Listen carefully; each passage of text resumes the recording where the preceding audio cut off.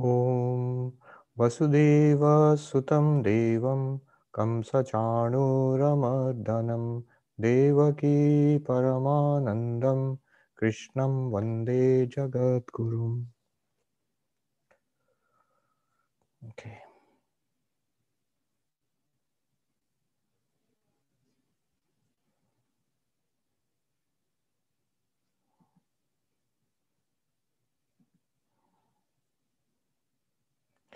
We were on the sixth chapter. We're about to start chapter six of the Bhagavad Gita. I have a little personal fondness for this chapter because when I became a monk, this was the first uh, chapter I was asked to memorize. This uh, it depends on the Swami under whom you start your training first. So, the Swami under whom I joined the order, he would ask us to memorize a verse of the Gita uh, every day, each, each of the novices. But we would be given different chapters. Um, I don't know why he selected whatever, the way he did, but for me, he selected the sixth chapter, and I started with this. And this verse was verse I memorized after joining the order was the first one we're going to do today. So I have this little. Um, and the funny thing was, there was another novice who had a hot temper so he was uh, asked to memorize one verse and one verse only. I think from the um, that verse, Yasman no dujate loka, lokan dujate chaya. Uh, I think from the 12th uh, chapter. Um, one who is not disturbed by the world and one who does not disturb the world. That, that's the meaning of the verse. Such a one is dear to the Lord. And he had to recite that every night. that he was given one verse to do. So, the sixth chapter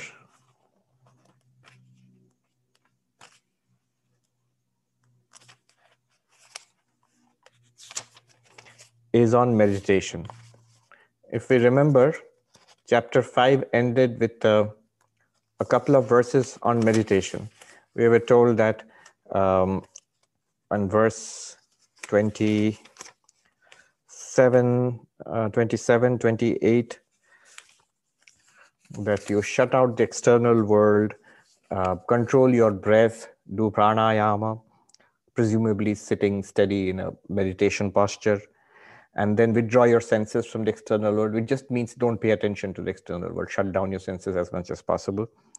And then um, with the breathing even, with the mind calm, then you focus um, on your object of meditation and in this way attain samadhi and such a one easily attains to moksha. So the um, introduction to meditation has been given or an indication has been given that he's going to speak about meditation. Usually these chapters would start with a question from arjuna but you notice there is no uh, question from arjuna in this chapter. Uh, one reason could be that already sri krishna wanted to teach this so he has introduced it in the earlier chapter and he continues what he started in the, at the end of chapter 5. So chapter 6 is uh, the chapter on meditation. Before we launch into it, a couple of observances, uh, observations. What meditation is and what it is not in Vedanta. Um, generally, meditation is for many, many things and it's not wrong that meditation is for relaxation. It does relax one uh, a person. Um, i mean some of the most deepest profound relaxation you can have is in the experience of yoga nidra. Those who practice hatha yoga you have experienced yoga nidra. Extraordinary relax deep relaxation. Um, it is good for combating anxiety. It is good for uh, uh, fighting against depression it is good for fighting mood swings. It's good for um, for boosting immunity in the body. From what I hear and what I've heard of uh, medical literature, it's, it's, actually been studied. Um, it's good for uh, focus before examination. It's good for relaxation after examinations. So meditation is good, and it's a good tonic for the mind morning and evening. Um, but all of that is not the concern of meditation proper. all these techniques of meditation, which all the benefits I mentioned are true. Uh, they do give all these benefits. It's true. There's no doubt about it. But that's not the purpose of meditation. If you go to the manuals of meditation, the most ancient texts, like the Patanjali Yoga Sutras, which is the classic manual of meditation, the purpose was always spiritual. Uh, it was God realization, enlightenment, uh, self realization, whatever you call it, but spiritual. That was the purpose of meditation. And uh, um, spiritual ultimately means liberation in the terms we are using in Vedanta. Uh, it means moksha, liberation. So, the purpose of meditation is spiritual. And in spirituality, also, meditation is used in different ways. Um, in uh, Vedanta, what ex- exactly what does meditation do? Advaita Vedanta. We'll talk about that before entering this chapter, just to give a get a perspective. So, um, even in in all of spiritual life, meditation has different. Um, it's viewed in different ways. The purpose of meditation. What is the goal? What is the point of meditation? Techniques are many, but what's the whole purpose of this practice? This uh, we may in general say well if it's for spiritual life let we can of safely presume it is for liberation moksha salvation uh, freedom whatever you call it. The answer is no. It is not. No practice can give us freedom or moksha. And we are talking in the vedantic context now. Uh, whatever be the way it is understood in other systems of um, meditation in different religions within Hinduism, outside Hinduism. But in Vedanta, Advaita Vedanta, no practice, including meditation, can give us moksha because moksha is our very nature. The Atman is ever free. We are already free. Um, Atman was never born, was never bound, never experienced bondage. Um, so in fact never was in ignorance either. So none of this uh, is is you know for none of these things is meditation necessary to give freedom to us. Freedom cannot be attained because for the simple reason it is already it's ever attained. We are the very nature of the atman is freedom. So meditation does is not meant to give us moksha. Um, then what is the problem? The problem is ignorance, and we know that uh, avidya or ignorance of our real nature is the problem, and Vedanta proposes to solve it through knowledge. So the next thing would be yes. So that's what we mean. Meditation is meant to give us knowledge, self knowledge, knowledge of Brahman, knowledge, knowledge of Atman, enlightenment, whatever you call it. Meditation is meant to give us that kind of special spiritual knowledge. Again, the answer is no. Meditation is also in Vedanta is not supposed to give us uh, that uh, spiritual knowledge or, or, Vedantic realization. That point also has to be understood. Knowledge, jnana, or technically in uh, Vedanta, prama, uh, not only Vedanta, Indian philosophy, prama. Prama means knowledge or valid knowledge, is always a product of pramana, a source of knowledge. So, an instrument of knowledge generates knowledge. For example, eyes are the source of the, uh, the knowledge called vis- visual perception, seeing of forms, is due to the eyes. The instrument called the eyes will give us that. Mind plus the properly functioning eyes, and of course, there must be light and there must be the object which is fit to be seen, and then the eyes can see it. But basically, the eyes are the instrument, and they give you the kind of knowledge called visual perception, seeing, to put it in simple terms ears for hearing. So the sense organs are the sources, are the pramanas, instruments of knowledge for uh, what is called perception. In Sanskrit, pratyaksha. Uh, aksha literally means the eyes, but in general it stands for all sense organs. Um, so pratyaksha, aksham, aksham prati in Sanskrit.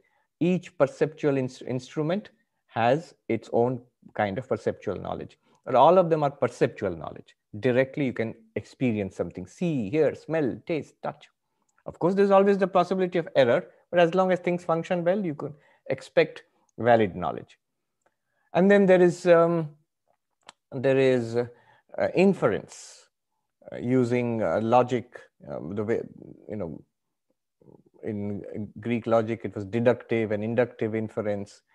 Uh, in in Indian philosophy, it is called anumana. By seeing something, we infer something further. So there is smoke out there. It means there is fire. I don't see the fire actually. I see just the smoke. So seeing the smoke is perceptual knowledge. But by that perceptual knowledge, I can use my uh, my background information which I've got and my understanding, and I deploy a new method of uh, new instrument of knowledge called anumana or inference, and I infer a further piece of knowledge that there is fire there, which I don't see. How do I know there's fire if I don't see it? By inference. And there are other uh, sources of knowledge. What is of interest to us is the source of knowledge, which is called Upanishads. The Upanishads are taken as a specific kind of knowledge which is not inferential knowledge, which is not perceptual knowledge. Of course, you have to read the Upanishad or hear the Upanishad, that's there. But uh, the knowledge contained in the Upanishads is um, a revealed knowledge, like a scriptural knowledge. But here one must be careful. When we say scriptural knowledge or revealed knowledge, in India it has always been understood that the scriptural knowledge or revealed knowledge points to a direct experience. It shows you something that you did not know or realize earlier it's not meant as it is generally understood in something to be believed in just as when the eyes show you something uh, i see the computer and i see all these people on the screen now uh, am i supposed to believe it or i said i know it before i saw you all i would i could have said i believe they are on the screen now but now that i see you i don't use it would be odd for me to say that i believe you are on the screen as I see that you're on the screen, I know that you're on the screen. There's a distinction between knowing and believing. So the Upanishads are a special instrument of knowledge which will enable us to say, I know that I am Brahman. I mean, within quotes, there are technical difficulties involved there, but I realize that I am Brahman. Aham Brahmasmi is knowledge for me, not believing. So these Upanishads, it's like this eyes plus mind reveals to me forms, ears plus mind reveals to me sound, um, mind plus inference reveals to me the fire that is to be inferred by seeing the smoke. I'm just using an example. Inferential knowledge accounts for a vast amount of our knowledge. And there are other sources of uh, knowledge in Vedanta, uh, Advaita Vedanta.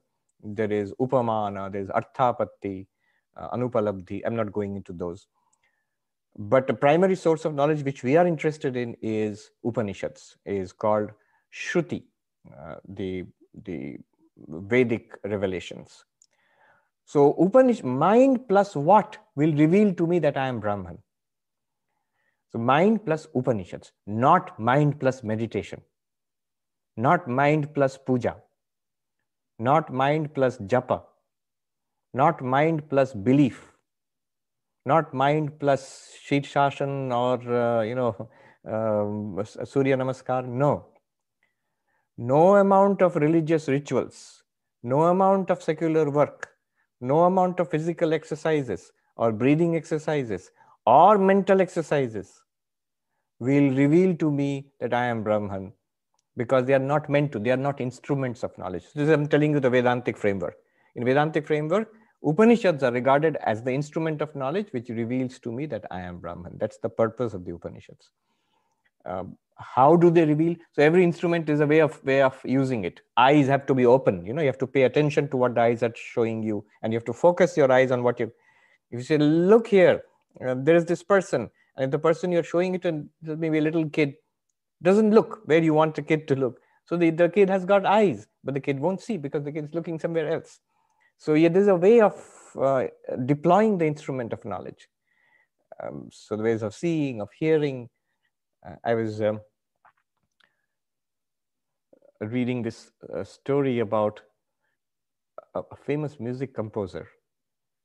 Um, I forget the whole context, but the student writes that we were told um, to listen to this um, music teacher playing um, a certain piece on the piano. And then hearing the same piece played on, on a cassette tape in those days. That recording was made by one of the great, great uh, virtuosos, you know, like a grandmaster maestro. And then the teacher said to the students, Do you hear the difference? No, he is himself an expert. I mean, one of the top experts. I'm playing it to the best of my ability. And here is just a casual rendition by that legendary, uh, you know, piano maestro. Do you hear the difference?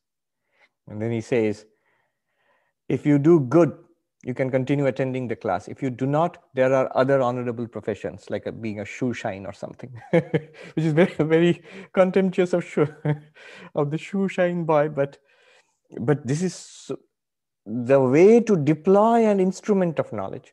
So much cultivation and refinement is necessary. So there is a way to deploy the instrument of knowledge called Upanishads. What is the way?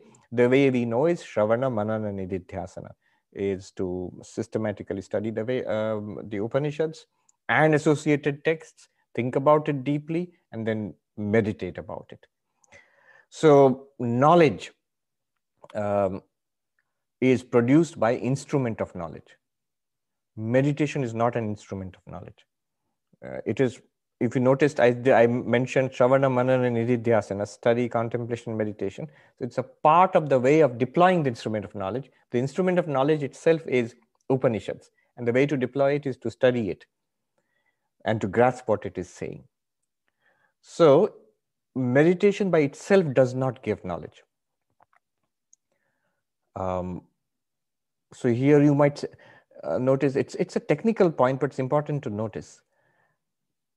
In the way the spiritual path which emphasizes meditation the most, which is Patanjali Yoga, there, um, there also, if you follow it closely, at no point does Patanjali say that meditation will give you liberation. Patanjali says that meditation will give you, um, what will give you liberation is uh, the knowledge of the separation, of the distinction between consciousness and matter. Uh, Purusha Prakriti Viveka Khyati. This is the sense, the technical term. Viveka Khyati means the illumination or the revelation of the distinction between consciousness and matter. You are consciousness. Therefore, you cannot be the world, you cannot be the body, it's matter. You cannot even be the mind, which is matter. You cannot even be life, which is still matter. And when you see this distinction, you are ipso facto free of nature, of material nature. Coronavirus can't do anything to you, to you consciousness. It can do a lot to your body, to the body, to the you know, to the living system there. But consciousness itself, it's distinct. So this distinction is not clear to us at all. We are so mixed up with it, with the body mind, that whatever happens to the material part of our nature, we think it's happening to us. So notice, we say I'm saying material part of our nature, but I have no nature actually. I am consciousness, and nature is not mine. Nature is an independent entity which cooperates with consciousness. This is the Sankhyan view and the yogic view. So the point of yoga is viyoga. yoga means union, but in Patanjali yoga, it means viyoga. It means the separation or the clarity we have in confusion mixed up matter and spirit. The clarity of the distinction between consciousness and matter this is uh, patanjali yoga. And that um, meditation cannot do. Only knowledge can do that because the problem is ignorance mixing up two which are not actually mixed up. And that ignorance can be removed by knowledge. What kind of knowledge? Knowledge of the distinction between consciousness and matter it may sound familiar to many of us because this is the first step in Advaita Vedanta. We have always thought of this as the first step. So this the Drigdrishya Viveka, for example. So even there, meditation is not going to um, uh, separate consciousness and matter. But what will meditation do then? Why is meditation stressed so much in Patanjali Yoga? Because it gives rise to that knowledge, that Viveka Khyati, between consciousness and matter. Purusha Prakriti Viveka. Purusha is consciousness, which you are, and Prakriti is the entirety of the universe, up to mind. But Vedanta disagrees here. Vedanta says even that knowledge, it comes from the Upanishads. It, it does not come from the meditation itself. Meditation can only help. So, so even from a Vedantic perspective, even knowledge is not coming from meditation. Moksha is not coming from meditation. Knowledge is also not coming from meditation. In Vedanta, meditation is not for moksha. Meditation is not for uh, jnana also. Uh, meditation is not for visions of devatas. Meditation can, deep meditation can give you um, a vision of your Ishta Devata. It is uh, entirely possible. But that's not the purpose of meditation in uh, Advaita Vedanta. Uh, meditation is certainly not for generating uh, spiritual powers, occult powers. Meditation can do that. Patanjali Yoga clearly mentions a whole chapter on all sorts of extraordinary superpowers you can get. You can easily be part of you know Marvel comics, DC comics, uh, and uh, like be a superhero.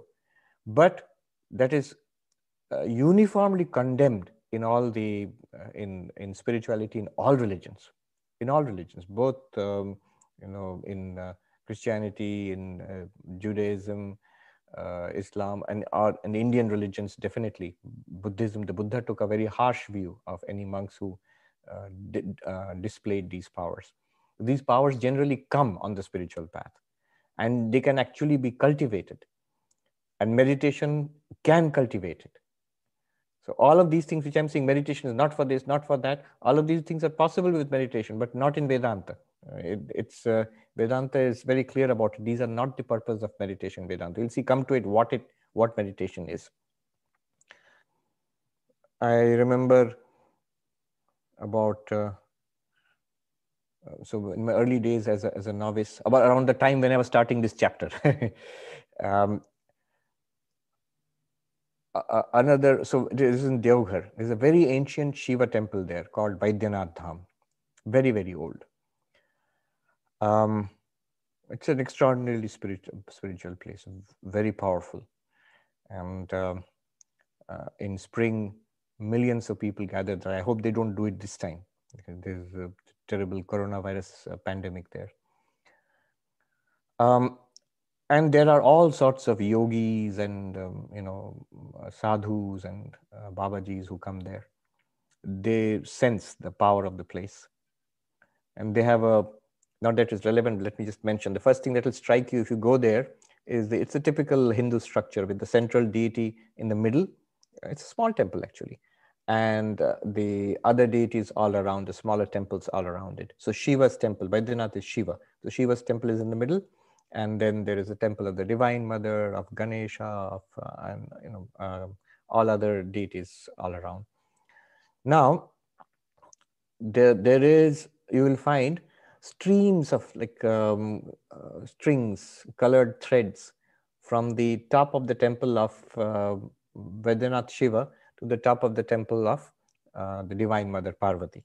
So they are, they are uh, you'll see hundreds of hundreds of multicolored like streamers there. Uh, the idea is that people go there with uh, wishes, and the wishes are always worldly wishes, almost always. I think 99.99% don't. Very few will go there for moksha or brahmagyana as, as a wish. Though the monks do go there for that. Now, those who go there with particular worldly wishes, see how it works. The idea is Shiva is Brahman, Satchidanand, existence consciousness place. Now, that is the reality of this universe. And you're praying to Shiva, let it be like this, you know, um, let my corona be cured, or let me get a job, or something, um, or let my children be married, some, some kind of worldly big issue in, in the family, or let me let the fields yield plentiful next year. So, once you have done that, then you have to go to the Divine Mother's temple and offer the same prayer. And then you have to connect the two with that colored streamer. The uh, this nobody explained this to me. This much is true. Everybody knows this. But what would be the underlying uh, idea behind it?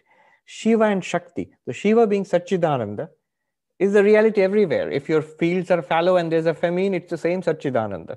And if your fields are bountiful and there's a bumper harvest and you're rich it's the same satchidananda. From from this perspective of Brahman, Nirguna Brahman, uh, Satchidananda, there is no difference at all. It's just the play of Maya. Uh, Brahman is perfectly happy. No, but we are miserable in certain circumstances and we are happy in other circumstances. So if we want to be happy and we want a set of circumstances which make us happy, the, the, the officer in charge of that department is the Divine Mother who can fulfill our wishes.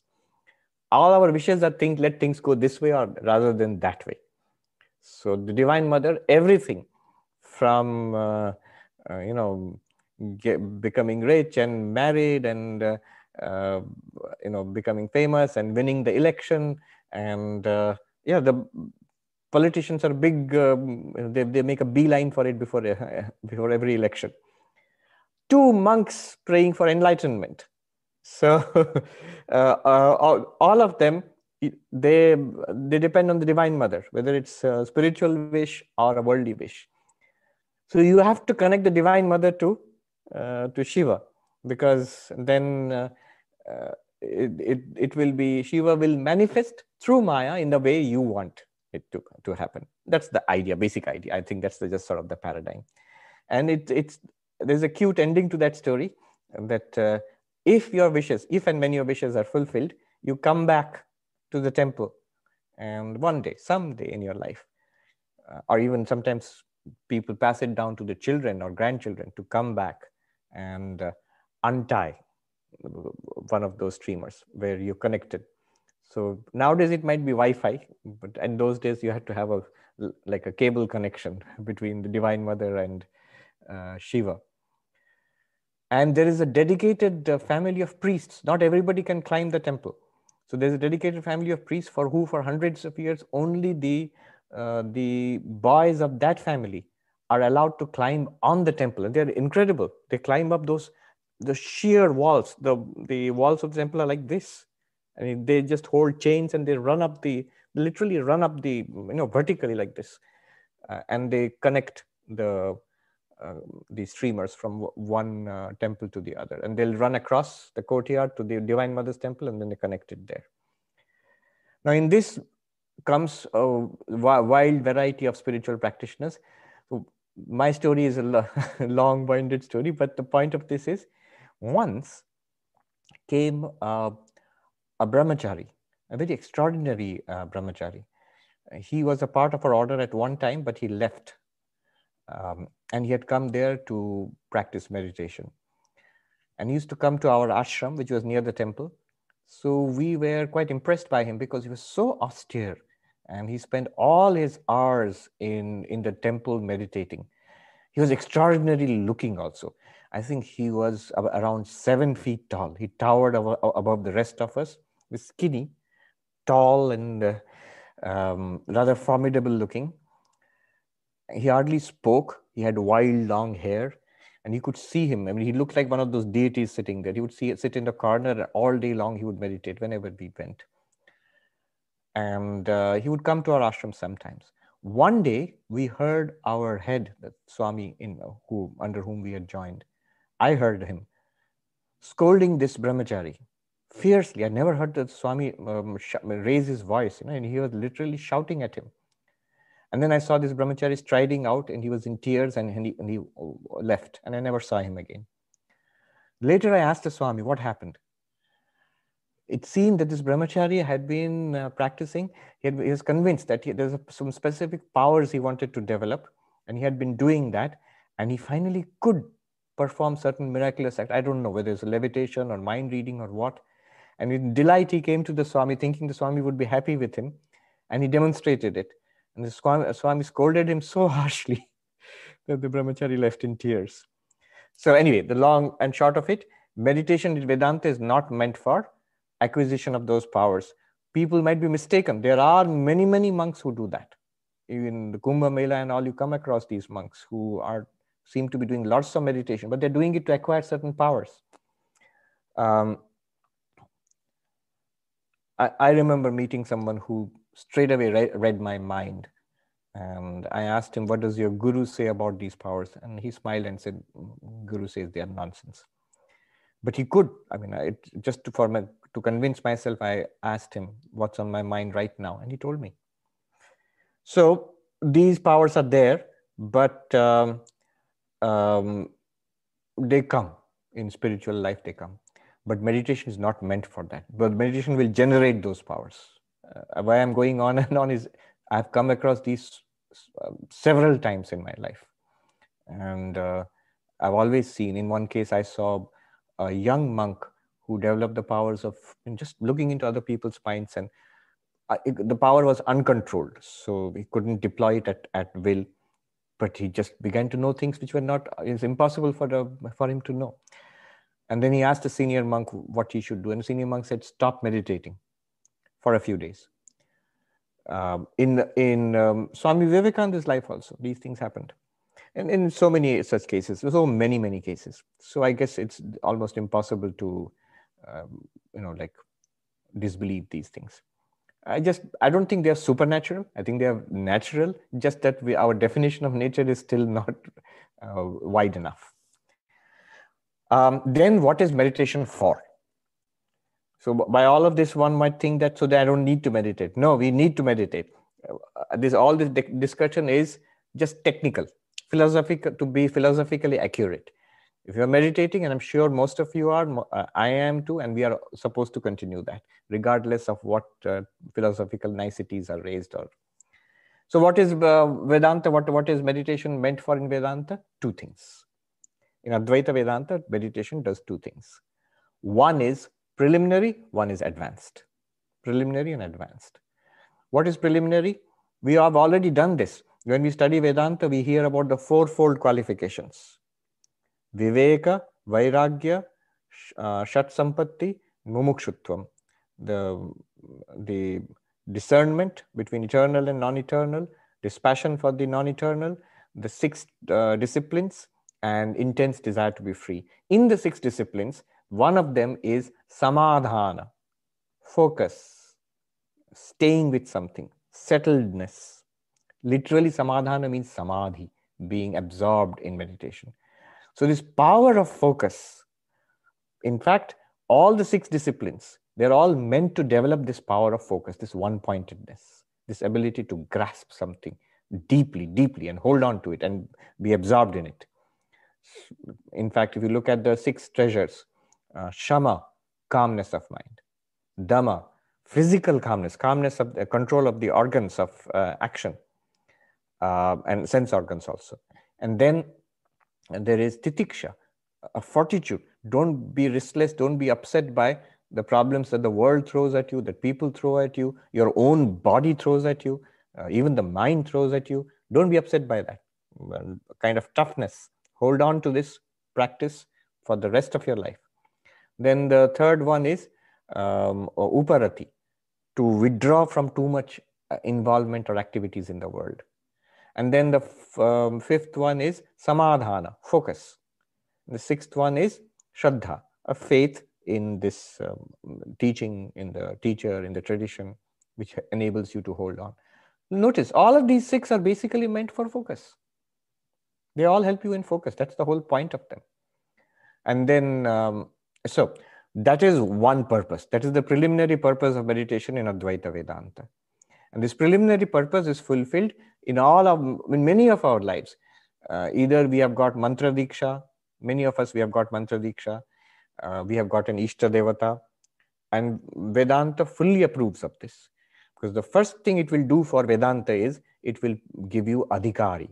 It will make you a qualified, a qualified student of Vedanta. One of the most powerful ways of becoming a qualified student of Vedanta is to have an Ishta Devata, to have an Ishta Mantra, and to regularly do japa and dhyana. Morning, evening, sit and carefully do japa and dhyana. These are powerful methods of acquiring fourfold qualification, um, sadhan. Specifically, the focus required for um, Vedanta. This is called uh, ekagrata, focus of mind, ekagrata.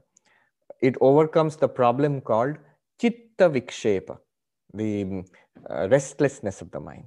So restlessness, restless mind overcome by focused mind. If you, it, it, it brings to your mind certain uh, discussions in the past, you are right.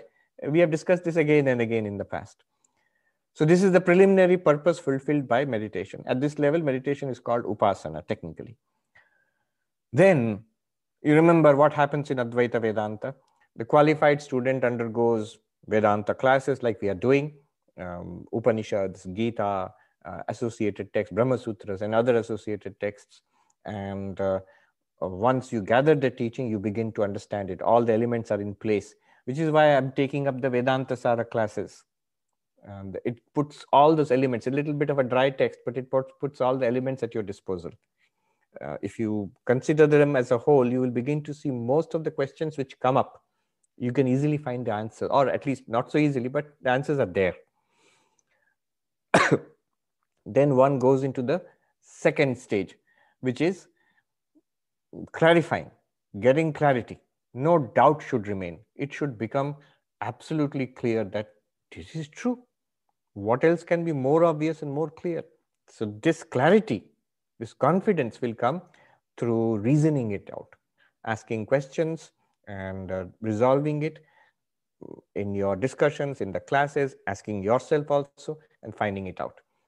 Some things only become clear with the passage of time. I have seen I studied the books, talked with the teachers, attended the classes, but you know, it is our own experience. Weeks later, months later, it's oh, that's what that's what it was. Uh, so we get it. It takes time sometimes. Um, there's that famous verse that knowledge is acquired one fourth from the teacher, uh, one fourth by discussion with other other students you know in, in the classroom basically classroom environment one fourth by your own efforts and thoughts and one fourth in time. Time gives you the last fourth completes it. So this is the second stage. It overcomes all doubts gives you clarity and then this clarity it will mature into a living reality notice i'm using the words carefully I'm not saying it's an it'll be a new kind of spiritual experience, which I already said where meditation is not meant for that. I'm not even saying it will give you some spiritual power, it will give you knowledge, it will give you liberation. I already said uh, meditation not for that. What meditation will do is it will make it a living reality so that the the problem which we face or often we raise, I get it, I'm clear about it. But it does not my life is still continuing the, way in the old mold. Eh, i'm unable to overcome suffering. I'm still reacting to the world as a body mind you know as this person. How do i overcome that? How do i mm, be naturally identified as spirit and live my life accordingly so nididhyasana vedantic meditation at that level makes it this aham brahmasmi knowledge i am brahman it makes it natural. Just as right now I am this fellow Sarvapriyananda is natural to me. I don't have to do any spiritual practice for it. The daily morning once uh, and in the evening sit down so that I don't lose my grip on Sarvapriyananda. No, it's natural to me. Similarly, the realization that I am Brahman should be natural to me. Then it will be natural. Expressing it in life also will become natural. If you can express this knowledge in life, that is called Jivan Mukti liberate, liberated while free while living, liberated uh, while living. Before the death of the body, can I live this life? So, for that purpose, there is Vedantic meditation. That's why at the end of uh, Vedanta books, Drigdrishya Viveka, it concludes with six techniques of meditation. Aparoksha Anubhuti concludes with 15 techniques of meditation. You see, it boil, all of them boil down to the same thing. You realize something, you get clarity about it, the teaching is over, now stay with it. That is what Vedantic meditation is. So that's the second purpose of Vedantic meditation. One is a preliminary purpose, to make us fit, focused for Vedantic uh, study. And the second purpose is the advanced purpose of meditation, Nididhyasana, which makes us, uh, which makes our, our study uh, living. Uh, you know, it becomes effective to remove the the contrary tendencies of behaving like body mind, of behaving like a jiva, that is overcome by uh, the advanced practice of Vedantic meditation, Nididhyasana. So the two terms are Upasana, preliminary practice, and Nididhyasana, the advanced practice. This is the purpose of meditation in Advaita Vedanta. So it's a technical point. If you say that, oh, fine, I get it, but in Hindi they say moti baat bolo. Tell us the oh, tell us the general conclusion. What's the point? Am I supposed to meditate or not? I don't understand all those five philosophical distinctions: yoga, sankhya, Vedanta, spiritual powers, what not. Should I meditate or not? Answer is of course one should. Definitely, one should meditate. One good way of solving these problems is looking at the lives of people you consider to be spiritually advanced. Do they meditate or not? Certainly, they do. Almost always, you will see they are very meditative people. Even after full enlightenment, Buddha, all his life, he meditated. Uh, he had this pattern of uh, engagement and withdrawal. So if you see the year, uh, if a daily life start with meditation, then there would be engagement, do some activity like, you know, um, talk to the bhikshus, then they would go out for begging for food, they would come back and eat, and then they would withdraw again in meditation. And again come forth and meet people who had come to meet them, lay people, kings, poor people that come. Then again withdraw into meditation. So this this is was there, and meditation is there in the lives of all spiritual seekers, and seekers and uh, fully realized people also. So definitely we should meditate. Fine. Now, sixth chapter, chapter on meditation. Uh, before going into it, Sri Krishna once again says the preparation, meditation requires preparation. Why?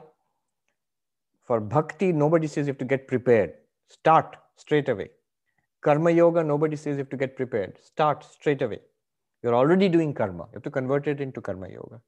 We already have the power of you know, desire. You need to convert it into love of God. And one can start doing it straight away, and one should. Meditation, start doing straight away, not a bad idea, but it will not work.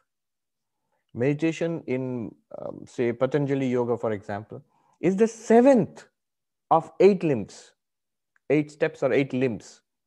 Ashtanga Yoga, the seventh one is Dhyana. So, we try to jump straight into it and we expect meditation will be good. It's usually not good uh, because the mind is not prepared. How to prepare the mind? Sri Krishna has been talking about it since the second chapter, chapter 2, 3, 4, whatever he has said. 5 also he mentioned it. Karma Yoga. He says that is actually the foundation for meditation. So karma yoga is the foundation for meditation. Then the next level will be meditation. What kind of meditation? The preliminary focusing meditation. And then the next level will be Vedantic, uh, Shravana, Manana, Nididhyasana, including the advanced level of meditation. And this three tier spiritual practice, um, converting action into spiritual practice, converting thought into spiritual practice, and then knowledge into spiritual knowledge basically you to look at it this way. Uh, this should sound familiar because we have come across it again and again. Now you can see why the structure has been set up. It's basically been as set up based on uh, an implicit structure provided by krishna and which he has taken it's it's implicit in the vedas themselves. Look at the structure of the vedas. The vedas are we see it's divided into karma kanda jnana kanda but if you look even more closely it is divided into karma upasana jnana Karma means rituals. Upasana means again work, action, but mental action, worship. And of course, that worship is different from the deity worship which we have right now. That was a, Vedic kind of worship. Um, but that was mental. So, physical rituals, mental uh, meditative exercises, that's upasana, and knowledge, jnana, Upanishads. So the Vedas themselves had this three tripartite structure. And Krishna also has that same implicit structure in the Bhagavad Gita. That is later formalized into what I keep talking about that three cross three matrix.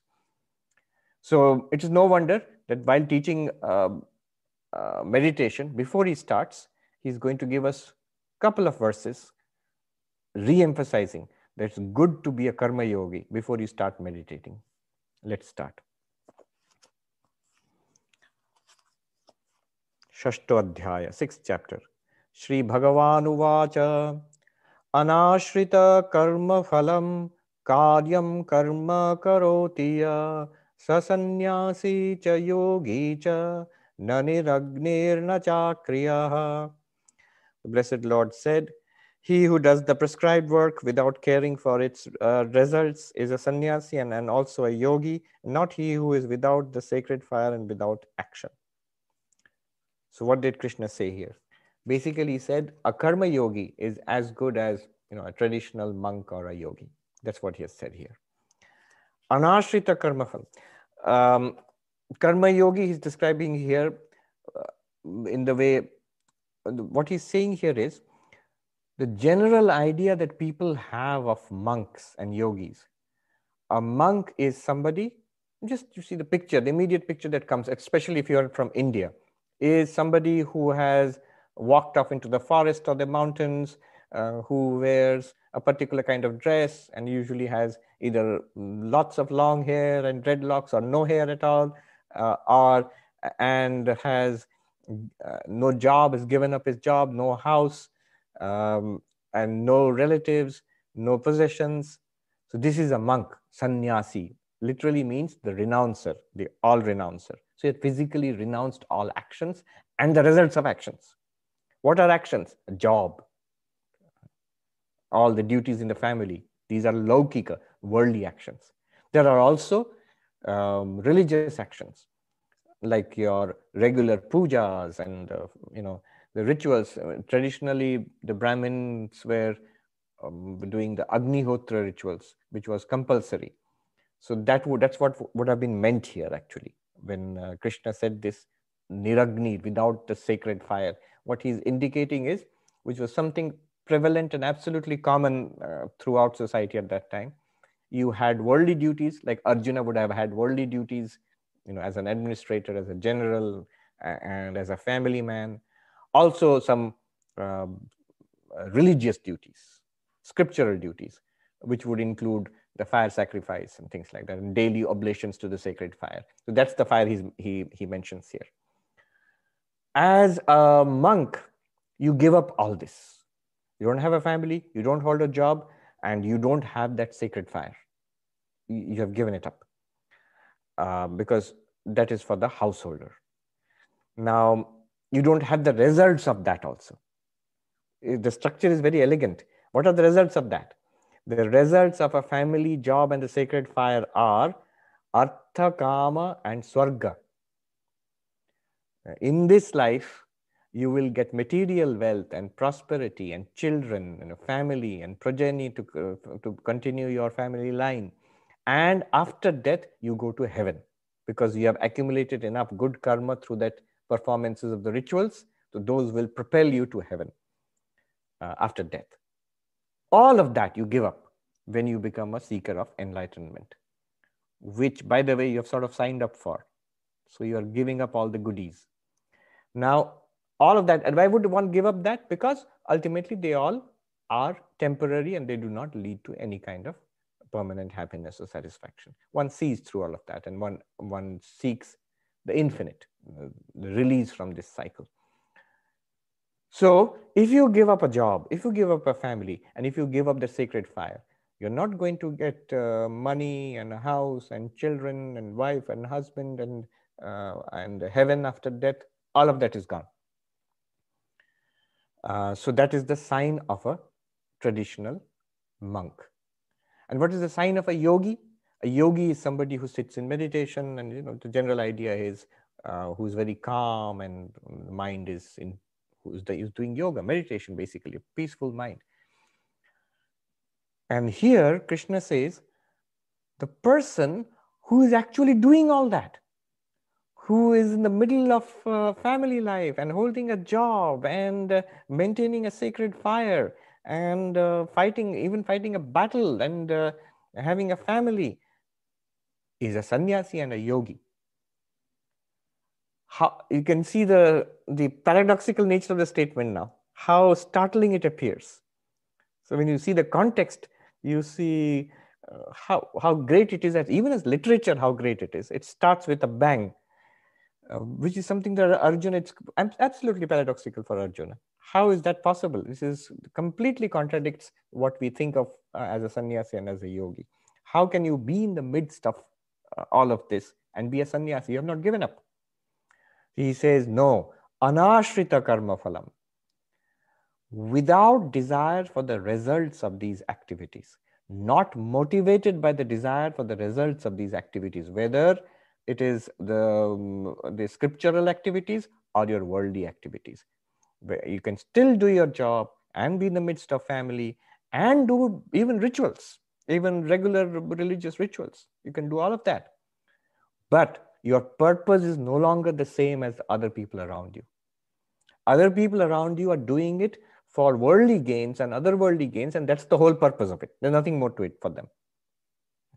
So, like the millions who go to the Baidyanath Dham temple and put up those colored streamers, 99.9% of them are going there for this only uh, for uh, things of this world or things of the next world. That's it. But you are that 0.001%. You are still there and you're still doing the, those activities. But now you are doing it for the purification of the mind so that you're ready for the next level in spiritual life, which is meditation, which I'm going to teach you. And if you do it, if you stay there and you do it, you gain the qualification for Vedanta and you are as good as a monk and a yogi.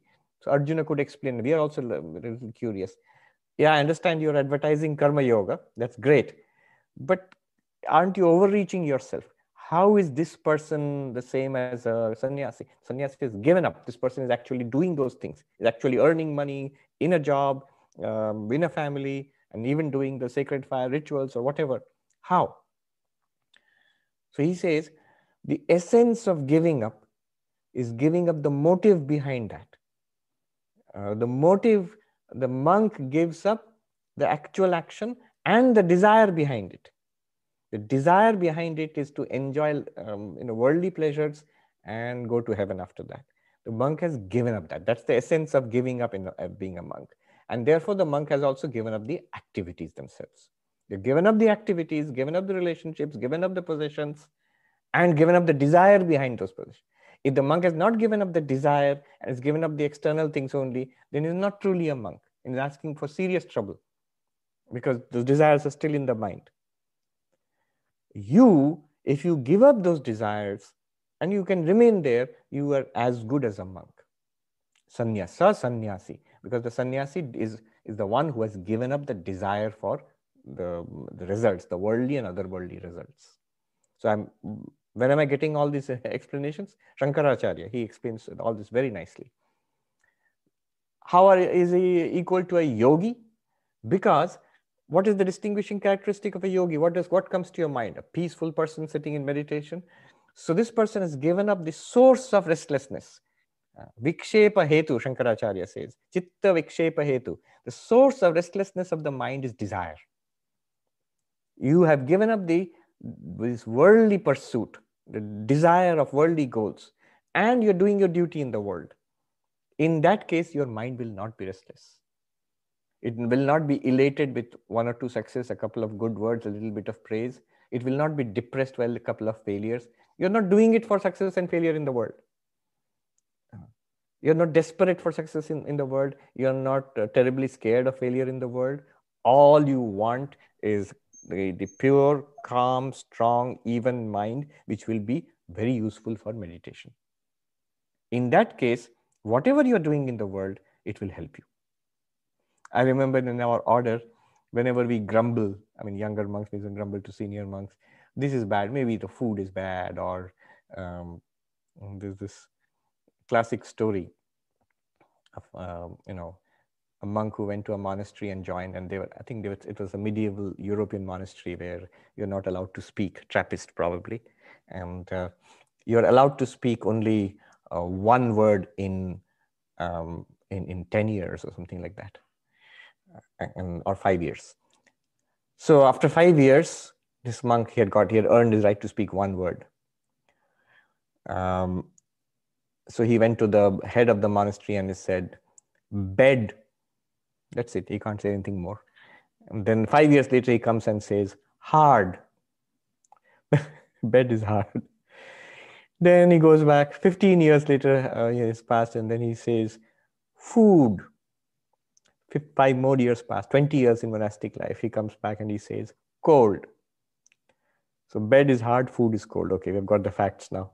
25 years later, he comes to the uh, head of the monastery who might have changed by that time. Now he's a senior monk himself. 25 years later, he says, I am. And then 30th year, he comes and he says to the head, who might be younger than him by that time, he says, leaving. So 30 years it took him. Food, cold, bed, hard, I am leaving.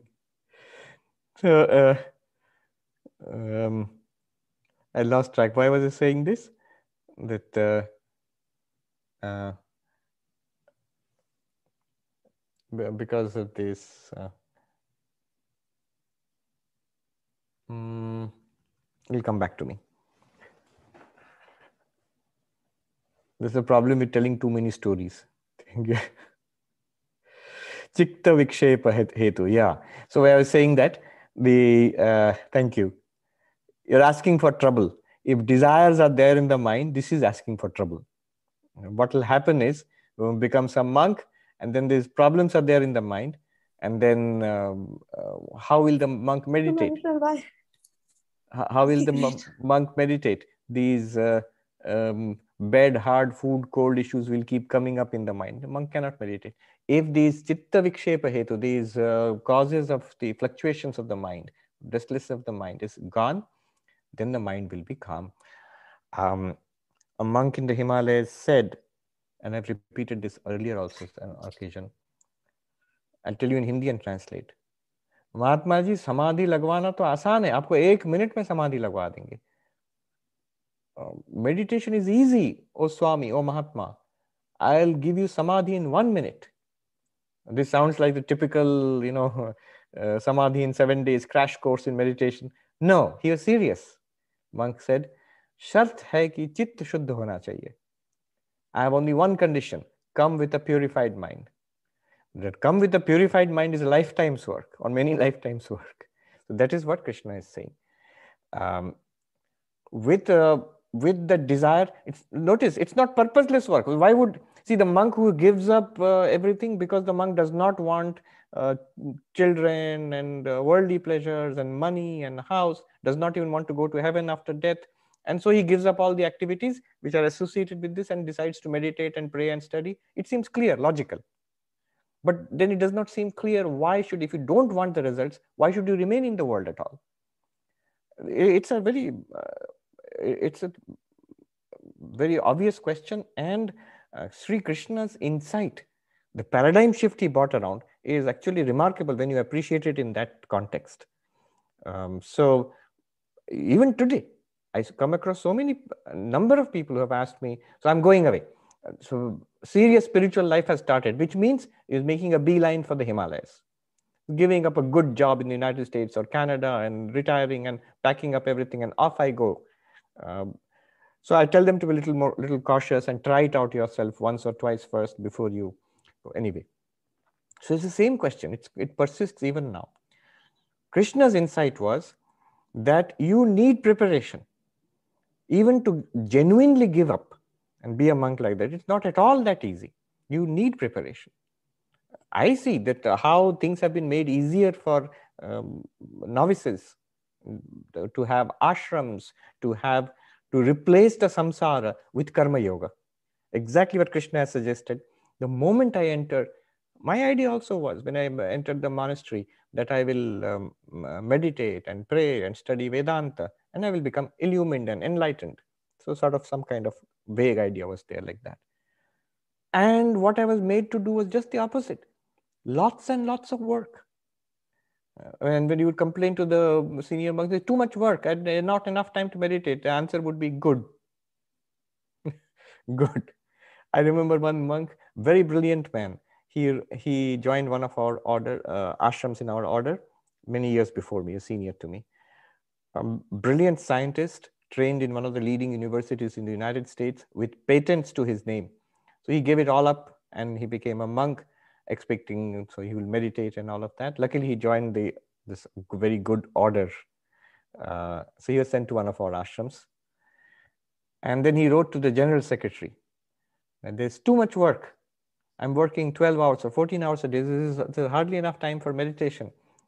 And general secretary wrote back a single line that i'm i'm very happy to know that you are devoting your time to the uh, service of Sri Sri Thakur Sri Ramakrishna's uh, service you'll be blessed by this so this is the idea and this is this incorporates sri krishna's great insight that karma yoga is essential for a life of meditation. It's essential for a life of monasticism also as a preparation. You cannot avoid this. All right. Um, oh, we have run out of time. Let me just quickly look at the questions.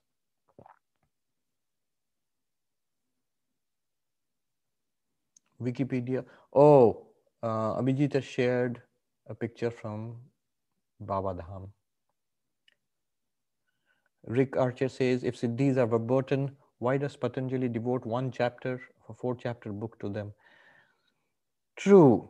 Now, Patanjali himself warns against the Siddhis. He says it's only if you can go beyond them, if you can reject them, then the higher samadhis are open to you.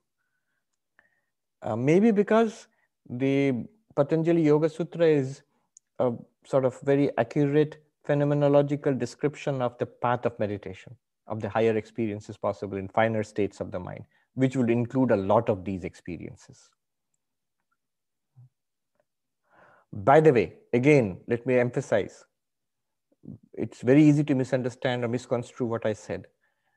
The visions of deities, these are very, very powerful helps in Vedanta also. I said it's not the purpose of meditation. It's not the purpose of meditation as far as attainment of Brahmagyan is concerned, but it is part of the process. So if you have an Ishta mantra and Ishta Devata, the goal is definitely to get a vision of the Ishta Devata. Is it not, you said it's not a part of Vedanta? No, no, no, I never said that. What I meant was that that will develop a mind which is for, for which mind the Vedantic realization will be easy, will be far easier. In fact, in Advaita Vedanta, this is called Kritopasti. Kritopasti means a person who has completed every stage. So, a person who has completed Karma Yoga, a person who has completed meditation to the level of having a vision of his or her chosen deity, to that level. For that person, classic example is Sri Ramakrishna. So, he had continuous, unimpeded vision of his chosen deity, uh, Kali, Mother Kali. And from there, it took him just one effort to attain Nirvikalpa Samadhi. It was like smooth for him to realize the, uh, that I am Brahman. So that's a, of course, an extreme demonstration of a Kritopasti. He always said that you need to do only one sixteenth of what I have done. Um, also, these spiritual powers they are uh, forbidden uh, but one must admit that in the lives of uh, enlightened people and in our religious uh, scriptures in the documents in every religion there are uh, there are accounts of these that these were demonstrated and they did work and uh, even sri ramakrishna sort of tempted swami vivekananda he said look I've got all these powers. So he said that whatever powers are mentioned, Ashtasiddhis and all we mentioned in the Patanjali Yoga Sutras, he, he said, I have got all of them. Do you want them? And um, Swami Vivekananda said, Will they help me to realize God, become enlightened? He said, No, but after you do, notice the connection between what I said at the beginning that it's not the purpose of meditation to give you these powers. He said, No. Uh, but after you do become enlightened, it will help you to in your teaching, in your work. And then Vivekananda said, he was Narendranath at that time. He said that in that case, let it be. I don't want them now. Or I don't want them, he said. But he got them because uh, later on in, in America also, numerous such incidents. One disciple who came to him, she notes rather uh, that, uh, you know, he looked at me and then rather shyly he said, if you permit me can i read your mind can i see into your mind what an amazing thing that for us it's an amazing thing for him it's uh, he's rather uh, you know like diffident about it i have myself met uh, a number of people uh, monks um, and non-monks who definitely had some of these powers.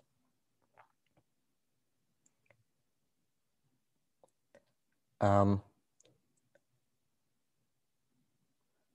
in fact, speaking to Rick's question, even the possibility of attaining uh, states of samadhi through drugs, specific drugs, is mentioned by Patanjali. This was a bone of contention between uh, the early movement of you know the LSD movement and all when um, uh, Aldous Huxley and um, and uh, um, you know Timothy Leary um, and Ram Dass, not Ram Dass himself, but Timothy Leary definitely, and Aldous Huxley uh, against Swami Prabhavanandaji in Hollywood. Prabhavanandaji took the orthodox stance that don't try these things. And yet it's mentioned in the Patanjali Yoga Sutras, which I think Aldous Huxley and Swami Prabhavanandaji translated together. In fact, recently, um, in a conversation at the organized by the Harvard bookstore, Professor Christoph Koch, Christoph Koch, uh, he uh, he has been trying out those the silo psilocybin, yeah. And he also mentioned that these things are meant that uh, these are ways of attaining uh, higher states, which are mentioned in texts. And he himself talked about a number of experiences which he himself had. So yes, it's mentioned, and also it's privated in the sense, in the same breath that uh, this is not the way to attain uh, sustainable spiritual development. So sustainable is the key word there. Then Krishnamurti says, um, Vishwanathan, Krishnamurti Vishwanathan says, according to our Advaita framework, Shruti Pramana is essential for removal of ignorance, deployed through Shravana, Manana, Nididhyasana. Correct. In the case of an example like Ramana Maharshi seemed to have received this knowledge without the Shruti. Is there a way to fit that into framework? In any number of ways people try to fit it into the framework, like uh, he must have done all that in his past life. It just uh, it bloomed or blossomed in this life. Who knows? but exceptions prove the rule. So uh, the person one person becoming spontaneously awakened uh, but the rest of us do not. So we need some pointers which show us what they realized and it's possible. And i do believe there are people more and more people who have got that awakening including some who get it spontaneously. You cannot totally dismiss um, you know like uh, um, the power of now. Mm. And the gentleman. Um, Eckhart Tolle. Eckhart Tolle, yes. Eckhart Tolle. Um, I mean, I have read it. I've not met him personally, but it sounds quite authentic. And he has, uh, I mean, he has a, there's a very good feel to it, very genuine feel to it. And yet he had it completely spontaneously he has read vedanta but that's much that's afterwards after the initial breakthrough.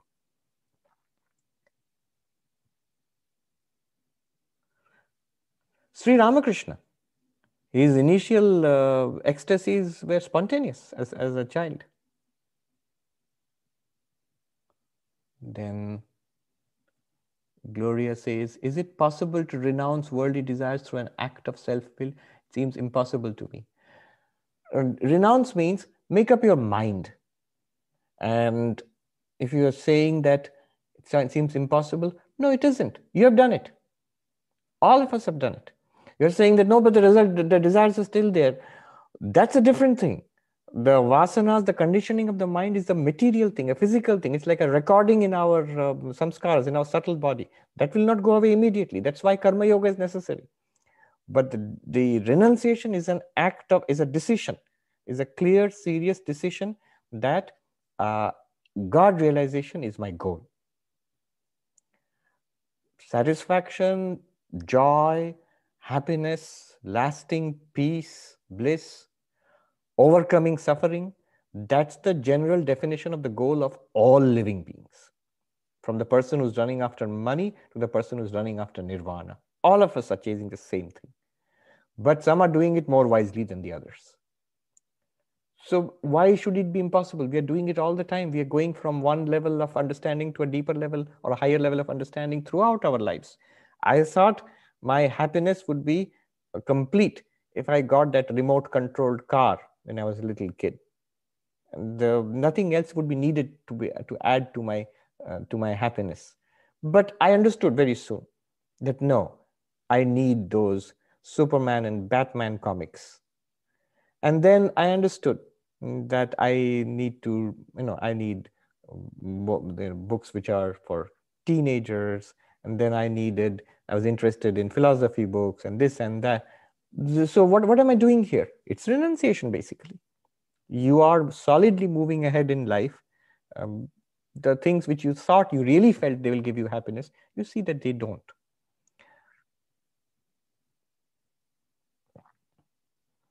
Will it remove all the traces of desires?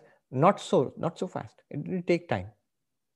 That's the whole of the, the process of spiritual purification, chitta shuddhi. Abhijit asks, it seems Sri Krishna in the first verse is telling us that Vyavaharik view of pure consciousness. We read that consciousness is, though filled in and through the waking world, is still perfectly asanga.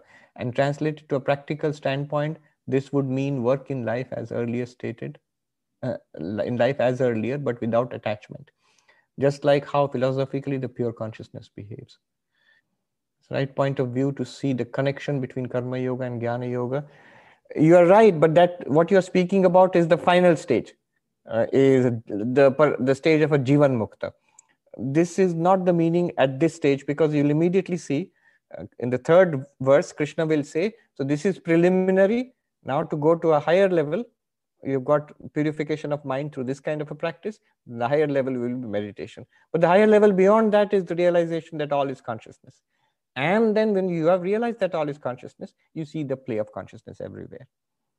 Uh, so that's the Jivan Mukta level. Here it is the uh, it is reaffirming the teaching of Karma Yoga. Rick says, it seems that genuine saints sometimes perform siddhis, but they're discreet about it, not showing them, showing off or using them to attract crowds. Uh, yes, generally, I've, I've also uh, come across such cases where they have actually done something and then cautioned people are all around never to reveal this to others and which they inevitably do. They go the first thing they go is go on twitter or something. Nowadays it would be immediately a worldwide sensation. That's why um, saints are very careful because one thing they hate is drawing crowds around them.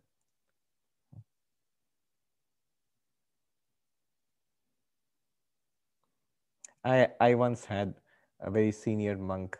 Uh, he's passed away, so I, am going to do the same thing of broadcasting something he told me never to talk about. Uh, but he's gone now. So he told me about how he actually had a vision of Sri Ramakrishna.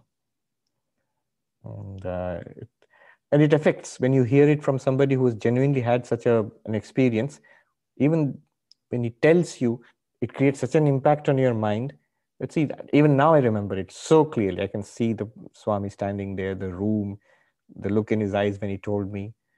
And uh, a very old Swami. And so now when I walked out of the room, he came to the door again, got up from the bed, and he came, walked to the door carefully, and, and again called me back and he said, Don't tell anybody. so this is the first time I'm telling people. But of course, I'm not giving any details.